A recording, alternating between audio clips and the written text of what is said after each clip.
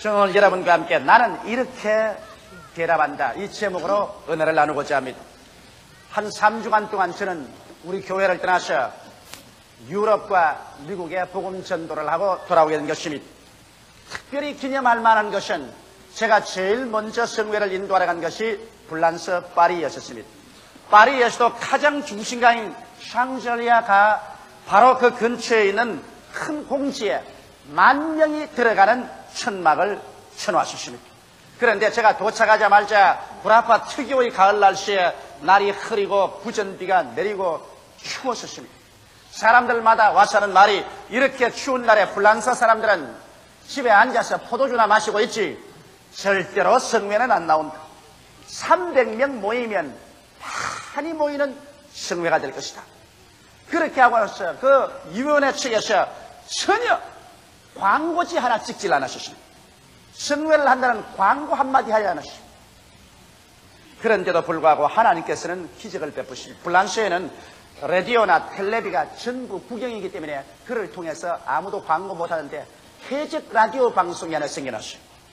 기독교 신자들이 지하에다가 방송국을 세워놓고 난 다음에 이리저리 옮겨가면서 복음을 전가하는 해적 방송국인데 그 방송에서 한 달 내내 순복음 중앙교회 조용기 목사가 파리에 와서 성회를 하니까 성회에 참석하라고 방송을 했습니다.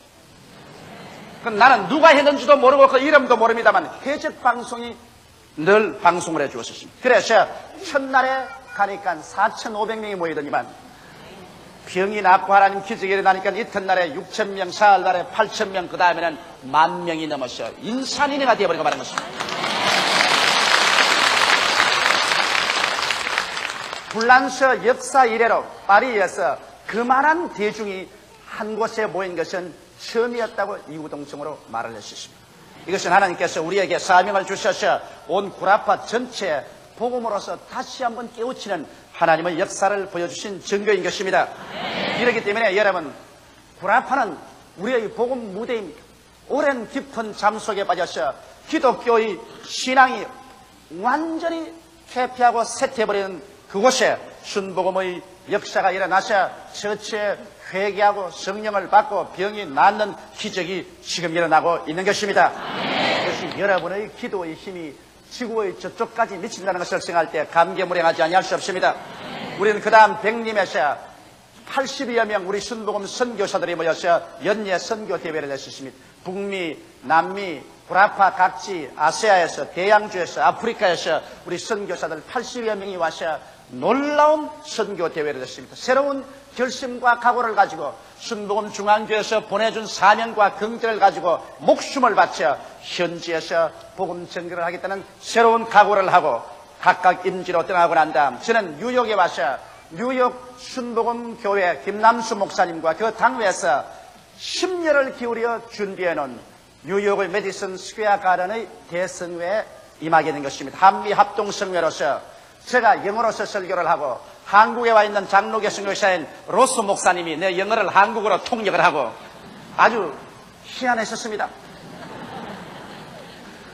그래서 매일같이 4천명에서 5천명의 대군중이 모여서 놀라운 성회를 가질 수가 있었습니다. 그 무엇보다도 놀라운 것은 우리 미국의 텔레비 방영은 뉴욕에서부터 로스앤젤레스까지 미국의 coast to coast로 매주일마다 하나님의 말씀이 방영되고 있습니다.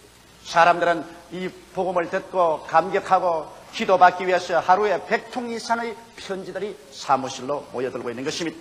이래서 우리는 명실공히 순복음 중앙교회에서 전 지구를 어깨에 걸머쥐고 예수 그리스도의 복음을 전하고 있습니다.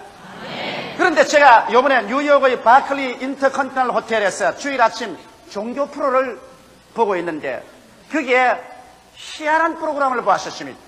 왜 나는 기독교를 떠났는가라는 제목으로서 인터뷰 프로그램을 방영하고 있는데 이것은 옛날 교회에 나오다가 이제는 완전히 타락해서 세상으로 나간 사람들을 일일이 찾아다니면서 왜 나는 기독교야 교회를 떠났는가 이러한 인터뷰를 만들어서 방영하는 프로그램이었습니다.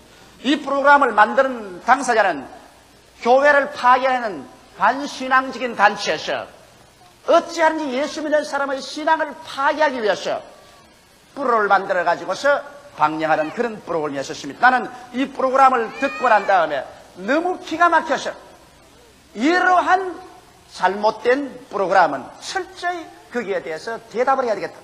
이런 각오로서 여러분 앞에 나는 이렇게 대답한다는 제목으로 오늘 나오게 된 것입니다. 그 프로그램을 보니까 첫째 질문한 것이 것입니다. 이 반교회 단체에서 한 사람이 가서 마이크를 대고 질문을 합니다.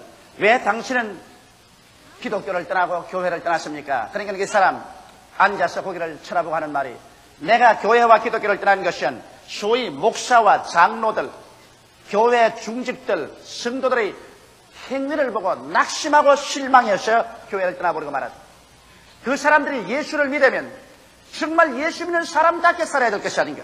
그런데 그러한 사람들이 깊이 실망을 주는 어느 행동을 했기 때문에 그게 부딪혀서 나는 실망해서 예수도 버리고 교회도 떠나버리고 말았다. 그렇게 말한 것을 들으셨습니다. 대다수의 많은 사람들이 이 말을 듣고 긍정을 하는지 모르겠습니다. 여러분 기독교인은 세상에서 지금 10억이 넘습니다.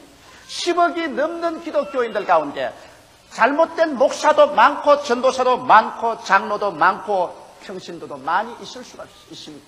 왜냐하면 성경에는 예수님께서 교회에는 밀과 가라지가 같이 자란다고 하는 것입니다.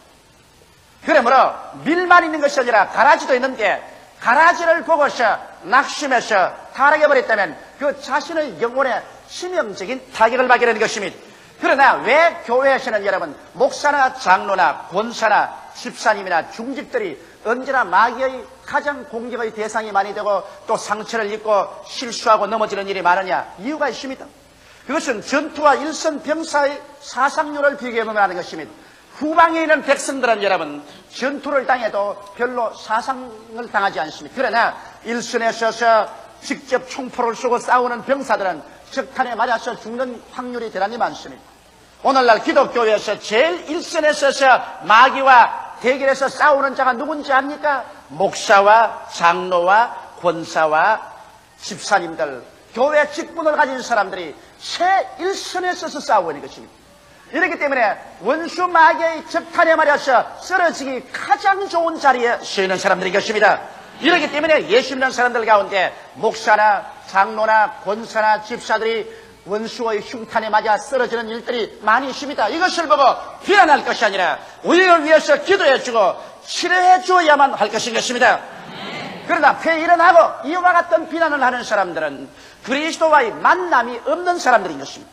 교회는 왔다 갔다 하고 종교는 갈지를 몰라도 진실로 예수 그리스도와의 만남을 갖지 못한 사람들이 그런 말을 하는 것입니다. 여러분 진실로 하나님의 아들 예수께서 오셔서 날 위하여 십자가에 못 박여 피를 흘려 죽으시고 무덤에 장사내시고 부활하셔서 성천하시고 나를 위해서 기도해 주시고 그가 나의 길이요 진리요 생명이 되셨고 그 예수를 통해서 하나님 아버지의 품에 안기게 되고 영생을 얻게 된 그 깊은 체험을 하게 되고 중생의 체험을 하게 된 사람은 동남풍이 불고 서북풍이 불어도 절대로 타락할 수가 없습니다.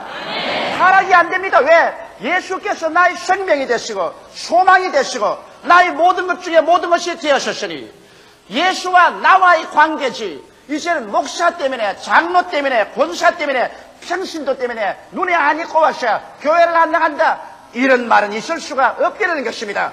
나는 예수 그리스도와의 직접적인 만남을 통하여 깊은 영혼의 변화를 받고 감격을 입고 그 사랑에 깊이 마음속에 잡힌 사람은 이 세상에서 여러 가지 어려운 환경이 다가와도 그것을 뚫고 믿음으로 말미암아 전진 전진을 하고 서로 목사가 넘어지고 장로가 넘어지고 권사나 평신도가 넘어지는 것을 본다할지라도 오히려 저들을 위해서 기도해주고 그들을 부축해주고 그들에게 비교해서 나는 그리도 영광을 위해서 저렇게 넘어지지 말아야 되겠다고 새로운 결심과 각오를 하게 되는 것입니다. 그래서 나는 나는 목사나 교회 중직들의 행실에 실망해서 교회 안 나간다는 사람의 그 증거를 들을 때 내 마음속에 성령으로 말미암아 부딪혀오는 파도를 느낄 수가 있었습니다. 저 사람은 교회는 옛날에 나갔지만은 중생은 체험하지 못한 사람이다. 저 사람은 교회는 알고 종교는 알아도 예수를 만나지 못한 사람이다. 정말 예수를 만나서 주가 내 안에 내가 주 안에 있는 이와 같은 체험을 한 사람은 절대로 교회 때문에 목사, 장로, 중직들의 행위 때문에 나는 그리도를 버린다는 이러한 일은 있을 수가 없다. 뼈저리게 느낀 것입니다. 오늘날 여러분 그러기 때문에 수많은 사람들이 교회 왔다 갔다 하며 교회 뜰만 밟고 예수 그리도의 만남을 받지 못하고 종교적으로 형식적으로 의식적으로 교회 왔다 갔다 하는 사람이 많습니다. 이러한 사람들은 환경적인 어려운 시련에 부딪히면 산산조각이 나버리고 마는 것입니다. 그러나 정말 내가 예수 그리도를 부여잡고 내가 예수께 잡히고 흉생의 체험을 한 사람은 죽는 일이 있어도 그리스도를 결코 떠나지는 않습니다. 두 번째 어떤 젊은 사업가 한 사람에게 마이크를 갖다 대니까 이 사람은 이런 말을 했습니다. 나는 오랫동안 교회 다니다가 그만 두고 말하셨습니다. 왜? 강단에서 설교하는 목사님의 설교와 현실에 우리가 매일매일 무엇을 먹을까, 무엇을 입을까, 무엇을 마실까 하면서 살아가는 현실 세계와는 너무나 동떨어진 세계입니다. 그렇기 때문에 교회 가서 앉아있는 것이 시간 소모입니다. 교회 가서는 현실과 전혀 무관한 말만 하고 있기 때문에 현실에 사는 우리들에게는 도저히 실행할 수 없는 일들을 경험하고 있습니다. 그리고 그런 말하기를 나는 월남 전쟁의 해병대원으로서 파송됐는데 그때도 교회 열심히 나갔습니다. 교회 나가면 군목 목사님은 원수를 사랑하라 살상하지 말라고 하는데 총을 두고 교회 밖에 나오면 우리 사령관은 원수를 미워하라 원수를 죽이라고 말합니다. 그러면 어느 장단에 춤을 추어야 합니까? 교회에서는 원수를 사랑하라. 그리고 살인하지 말라고 하고 밖에 나오면 사령관은 원수를 미워하라. 보는 대로 쏘아 죽이라고 말하고 그래서 이상과 현실은 이렇게도 다르다. 교회와 현실은 이렇게 탈이 되어 있기 때문에 나는 예수를 믿을 수 없다고 결심을 하고 그리스도를 버리고 교회를 떠나고 말았다. 그렇게 말하는 것을 들었었습니다. 이 사람은 여러분 현실의 문제성의 원인을 성서적으로 알지 못하기 때문인 것입니다. 왜 현실에 죽여야 합니까? 왜 현실에 미워해야 하는 것입니까? 왜 현실에 도역질을 당하고 죽임을 당하고 멸망을 당하고 슬픔과 고통과 저주와 이런 것들이 횡행합니까? 그 이유를 우리가 알고 근원적인 문제를 해결한다면 현실과 교회가 일치하지 않기 때문에 교회를 떠났다는 말을 하지 않습니다. 여러분 현재 도적질을 당하고 죽임을 당하고 멸망을 당하며 슬픔과 고통이 강물처럼 넘쳐난 이유는 우리 조상 아담의 타락으로 말미암아 이루어진 것입니다. 하나님을 반역해서 하나님 중심으로 살지 않고 자기 인간 중심으로 살며 육신의 정욕과 안목의 정욕과 이 세상 자랑을 추구하면서 살겠다고 하나님께 반역을 하고 마귀와 손을 잡고 나왔기 때문에 그는 영적으로 죽고 하나님과 배반당하고 그 다음 그 심적으로 마음속에 불안, 공포, 절망, 좌절감, 미움의 폭풍우가 불어닥치게 되고 육체는 병들고 한 줌의 흙으로 돌아가게 되고 땅은 저주를 받아 가시와 응극기를 내고 처처의 기근과 지진과 살상에는 오늘날의 세계로 전락해버리고 말한 것입니다. 이와 같 오늘날의 세계를 인간은 정치적으로 철학적으로 과학적으로 군사적으로 인간의 힘으로 아무리 타개하려고 해도 죄를 인간의 힘으로 없앨 수도 없으며 심령 속에 일어나는 그 폭풍우를 잠잠하게 할 수도 없으며 육체의 질병을 고치고 천년 만년 살게 할 수도 없으며 세상에 있는 산상과 미움과 전쟁의 소용돌이를 없앨 수도 없습니다. 그렇기 때문에 이와 같은 문제를 누가 해결할 수 있습니까? 이 문제를 해결하기 위해서 하나님이 그 해답을 제시해 놓으시니 바로 예수 그리스도인 것입니다. 하나님이 세상을 이처럼 사랑하사 독생자를 주셨으니 누구든지 저를 믿으면 멸망하지 않고 영생을 얻으리라고 하셔서 예수님을 보내주셨습니다. 예수님께서 이 세상에 오셔서 하늘과 땅 사이에 십자가에 높이 매달림으로 말미암아 인간과 하나님 사이에 막힌 죄악의 담을 흐려져게 버리고 그의 십자가의 고통을 통하여서 우리의 죄를 영원히 다 철폐해 버리시고 예수님은 십자가를 통하여 인간의 모든 저주와 가시와 은거키를 다 철폐해 버리시고 채찍에 맞음으로 질병을 피하시고 죽었다가 부활하심으로 영생을 가져오셨어 이제 예수 안에서 진실로 인생 문제의 근원적인 해답을 하나님께서 제시하여 주시는 것입니다. 이렇기 때문에 당장 예수 믿는다고 해서 현실에 밥이 생기고 떡이 생기고 옷이 생기는 것이 아닙니다. 현실에 예수 믿는다고 해서 부자 방망이로 이것을 나오라면 금 나오고 떡 나오라면 떡 나오고 밥 나오면 밥 나오는 것이 아니지만은 그러나 예수 그리스도를 구주로 믿음으로 말미암아 비로소 하나님과 나의 사이에 화목이 이루어지고 내 속에 영성이 들어오게 되고 그리고 하나님의 성령의 역사와 말씀의 역사로 가슴 속에 미움, 불안, 초조, 절망, 좌절감, 재청의 회오리 바람이 잠잠해지고 내 이웃을 내 몸같이 사랑하고 기도할 수 있는 힘이 생겨나게 되고 우리의 육신의 질병이 낫고 영생을 얻을 수 있는 소망을 얻게 되고 우리의 환경에 저주가 예수 이름으로 물러가고 아브라함의 축복이 다가오는 믿음을 얻고 그를 가지고 기도하고 낙심하지 않고 앞으로 앞으로 요단강을 건너고 그리고 광야를 지나서 가나안으로 들어갈 수 있는 믿음이 우리에게 주어지게 되는 것입니다. 이러기 때문에 그리스도 안에서 우리의 근원적인 문제가 해결됩니다. 삶과 영혼의 문제, 마음속에 심리적으로 일어나는 폭풍의 문제, 육체의 건강의 문제, 삶과 저주의 문제, 이러한 문제에 대한 근원적인 하나님의 해답을 예수 안에서 받음으로 말미암아 현실을 매일매일 기도와 믿음으로 극복하고 이겨나갈 수 있는 힘을 우리가 얻게 되는 것입니다. 이렇기 때문에 당장 교회에서 말씀을 전가하는 것이 현실의 생활에 당장 일치되지 않는다고 해서 교회를 떠났다는 것은 너무나 신앙에 대해서 잘못 알았기 때문인 것입니다. 교회에 들어가면 사람을 미워하지 마라, 살인하지 말라고 말하고 밖에 나오면 죽여라, 살인하라고 말한다. 불일치다. 불일치가 아닙니다. 현재 원수를 죽여라, 살인하라, 미워하라. 이것이 타락한 인간의 현실입니다. 그러나 그 타락한 현실의 그 비참을 극복하고 이것을 이기기 위해서는 교회 안에서는 원수를 위해서 기도하라, 사랑하라, 그리고 살인하지 말라고 말합니다. 이러기 때문에 이 하나님 안에서 이 사랑과 이 은혜와 이 축복을 받고서 그래서 현실에 나가면 쓸데없는 살상을 하지 않게 되며 또한 원수를 무조건 하고 짓밟아 죽이지 않습니다. 여러분께서 2차 대전을 통해서 잘 아는 바와 같이 예수를 믿지 않은 나라들이 포로를 어떻게 학대했다는 것을 압니다.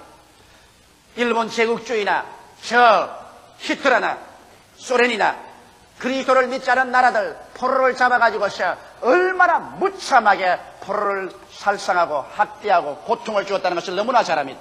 그러나 여러분 예수 그리스도를 믿는 나라인 미국이나 영국이나 연합 서방 연합군들이 포로에게 얼마나 인도적인 대우를 했다는 것을 여러분 우리는 잘 압니다. 그건 왜? 이들에게는 그리스도의 가르침이 있었기 때문에 현실의 전쟁과 미움과 살상이 있음에도 불구하고 그것을 치료하고 그것을 극복할 수 있는 새로운 차원의 하나님의 은혜가 그들 가운데 넘쳐났기 때문인 것입니다. 이렇기 때문에 우리는 현실과 무관한 복음이라고 생각해서는 안 되는 것입니다. 현실의 모든 문제의 근원적인 해결이 예수 그리스도의 복음에 있기 때문에 예수를 믿음으로 말미암아 우리는 영혼의 죄사함을 받고 육체의 치료함을 받고 부활의 약속을 얻으며 현실의 모든 저주에서 해방을 얻고 귀신을 쫓아내고 하나님의 나라와 영광을 가져올 수 있는 약속의 말씀을 받아서 그것이 믿음으로 서서 기도함으로 말미암아 현실에 다가오는 파도를 극복해서 파도를 밟고 걸어갈 수 있으며 폭풍을 뚫고 나아갈 수 있는 용기와 힘을 얻게 되는 것입니다. 세 번째는 어떤 부인한 사람이 실내 장식 전문가인데 거기에 마이크를 갖다 대고 당신은 왜 예수를 믿지 않고 교회를 떠나고 말았습니까? 그러니까 그는 한 말이 나는 처녀 시절부터 오랫동안 교회에 나갔는데 교회에서 목사님 설교를 한 12년 듣고 나니까 이제는 배울 거다 배워버리고 말았다. 이젠 강단에서 목사님이 아 하면 가나 다라까지 다 안다. 그러니 뭐 교회 가서 앉으실 필요가 없다. 다 아는데 나 혼자서 집에 앉아서 그거 옛날 들은 것 그저 묵상하고 생각하면 되었지. 교회 말라고 나가 이제 내가 다 안다. 그렇게 말한 것을 듣고 나는 내 마음속에 찡하고 부딪힌 게 있었습니다. 이 여자는 교만에 꽉 들어 차버리고 말한 것입니다. 왜냐하면 지식은 교만하게 하고 사랑은 덕을 세운다고 성경은 말한 것입니다. 이 여자는 자기가 안다고 하나 실상은 알지 못하는 것입니다. 이 성경의 말씀을 일생을 두고 어떻게 다 알아낼 수가 있겠습니까? 일생으로 공부를 해도 성경의 진리를 다 꿰뚫어 알 수는 없는 것입니다. 그런데도 자기는 이미 다 알기 때문에 나갈 필요가 없다고 말했습니다. 그러나 이 부인은 교회란 단지 설교를 들어서 지식만 없는 장소라는 잘못된 생각을 하고 있었습니다.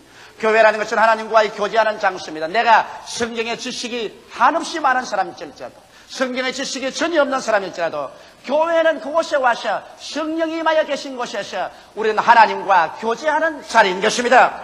이래서 고기가 물을 떠나서 살 수 없는 것처럼 사람들은 하나님의 교제를 떠나서 그 심령이 살 수가 없습니다. 교회는 생수인 성령의 역사가 일어나고 있는 장소입니다. 그곳에서 같이 찬미하고 같이 기도하고 같이 설교하고 같이 하나님께 감사함으로 말미암아 그 영혼이 성령을 마셔드리고 하나님과 교제해줘서 그래서 하나님의 사랑이 내 마음속에 깊어지고 내가 하나님을 사랑하는 사랑 안에서 자라나는 이와 같은 하나님과의 코이노니아의 장소가 바로 교회인 것입니다.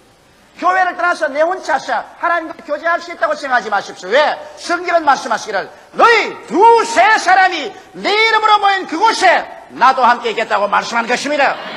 하나님은 두세 사람 모여서 예배하는 그 자리에 와서 계시기 때문에 우리가 함께 모여서 예배함으로 하나님과의 교제를 통해서 우리의 영혼 속에 하나님의 은혜와 사랑이 깊어지는 것입니다.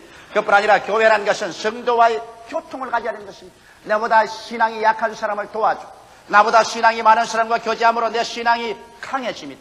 사람은 사회적인 동물이라고 말한 것처럼 우리 신앙 속에서도 사람은 언제나 나 혼자서 살지 않고 우리와 함께 삽니다. 이렇기 때문에 예수께서 기도를 가르치실 때 하늘에 계신 내 아버지라고 말하지 아니하시고 하늘에 계신 우리 아버지라고 말한 것입니다. 교회라는 다리는 우리인 것입니다. 우리가 함께 모여서 예배하고 찬미하고 함께 천당에 가는 것입니다. 이렇기 때문에 교회는 항상 미운 사람이나 고운 사람 할 것 없이 강한 자나 약한 자 할 것 없이 함께 모여서 서로 앞에서 끌어주고 뒤에서 밀어주며 서로 기도하고 서로 사랑하는 이와 같은 장소가 교회인 것입니다. 성도의 교제가 있는 그곳에 하나님께서 임하여서 축복하여 주시는 것입니다. 성도의 교제라는 것은 우리 신앙생활에 절대로 필요하기 때문에 이러므로 여러분이 구역 예배도 모이고 그리고 교회 예배에도 모여서 함께 신앙생활을 증진하는 것입니다. 또 왜 우리가 교회 나오냐면 교회는 대외 선교의 본산입니다. 내 혼자서 선교가 안 됩니다. 교회 함께 모여서 함께 계획을 세우고 함께 기도하고 함께 헌금하고 해서 그래서 교회를 중심으로 해서 우리의 지역사회 그리고 우리 전국에 그리고 이웃나라에 복음을 전할 수 있는 것입니다. 이렇기 때문에 신앙생활이라는 것은 나만 구원받으면 되었다는 것이 신앙생활이 아닙니다. 신앙생활은 내가 구원받았었으면 교회를 중심으로 해서 대외적으로 예루살렘에서 온 유대와 사마리아와 땅끝까지를 복음을 선교하는 그러한 운동을 해야 되기 때문에 반드시 나는 이제 설교를 듣고 충분한 지식을 가졌기 때문에 교회 갈 필요 없이 집에 혼자 남아서 있다는 이와 같은 오만된 말을 할 수는 없는 것입니다. 그것은 병들고 잘못된 신앙이 되기 때문에 교회를 떠나버리고 말한 것입니다. 네 번째로 또 마이크를 갖다 댄 사람 보니까 부부간에 중년인데 조깅복을 입고서 서로 뛰고 있습니다. 그게 따라가면서 당신은 왜 교회를 떠났습니까 하니까 그가 하는 말이 뭐냐면 이 세상에 시간이 없어서 세상의 쾌락을 누리기도 바쁜데 교회까지 가 앉아가지고서 시간 보낼 수가 없다. 그러므로 나는 일주일 내내 일하고 주일날은 늦잠 자고 일어나서 우리 마누라와 조깅도 하고 영화도 보고 그리고 술도 마시고 세상 재미를 보기 위해서 교회 같은 데 가서 따분하게 앉을 수가 없다고 그렇게 말하셨습니다. 나는 그 말을 듣고 마음속에 충격을 느꼈습니다. 왜? 오늘날 교회를 나오지 않고 세상에서 그래 행복을 누리겠다고 세속적으로 앉아있는 이 세계가 그렇게 행복하게 되었냐는 것입니다.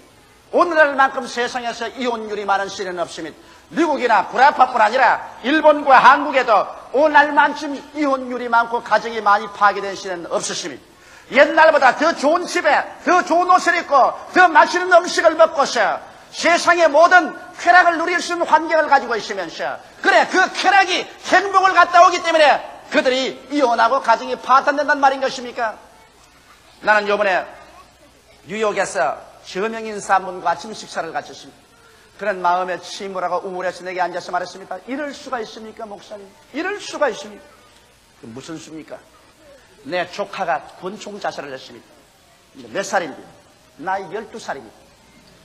내 상둥이 형제의 아들인데 그렇게도 인물도 잘나고 학교에서는 공부할 때 올 A입니다.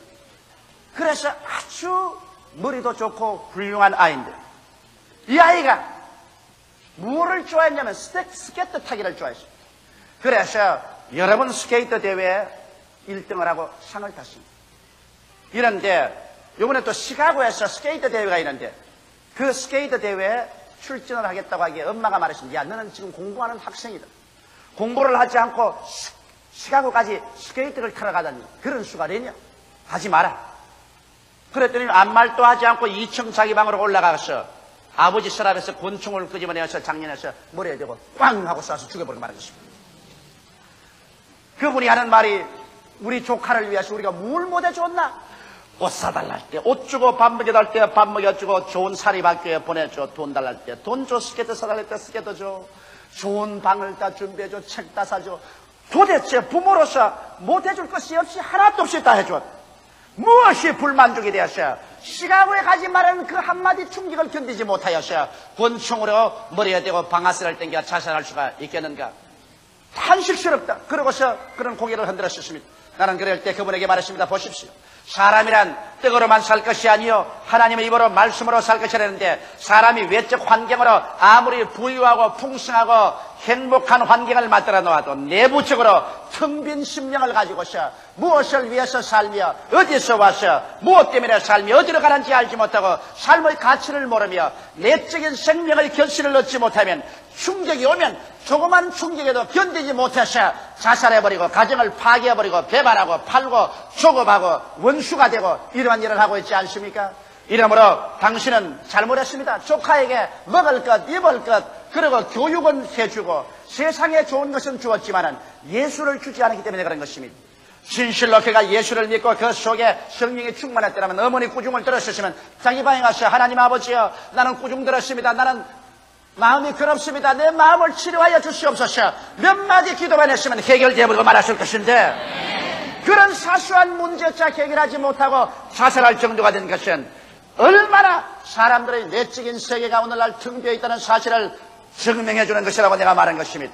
여러분 참된 즐거움과 행복이라는 것은 외적인 생활 환경을 아무리 부유하고 풍성하게 내어도 그것으로 오지 않습니다. 내적으로 믿음이 있고 소망이 있고 사랑이 마음속에 들어와서 그래서 내적으로 하나님의 은혜가 강물처럼 흘러갈 때 이 사람은 외적으로 적은 것을 가지고 있어도 그것으로 말미암아 행복을 누릴 수가 있는 것입니다. 보리밥을 먹고 좋지 않은 옷을 입더라도 그것을 가지고 행복을 누릴 수가 있는 것입니다. 이러기 때문에 여러분 오늘 우리는 세상에 살면서 이 세상의 삶을 즐기기 위해서 나는 시간이 부족하다는 이러한 말을 절대로 하지 말아야 될 것입니다. 교회에 나와서 하나님을 섬기고 주님 중심으로 서는 삶을 살아야만 하는 것입니다. 이 모든 반대론자들의 근원적인 문제가 그들이 교회에는 다녔지만 예수님을 만나지 못했다는 결론인 것입니다.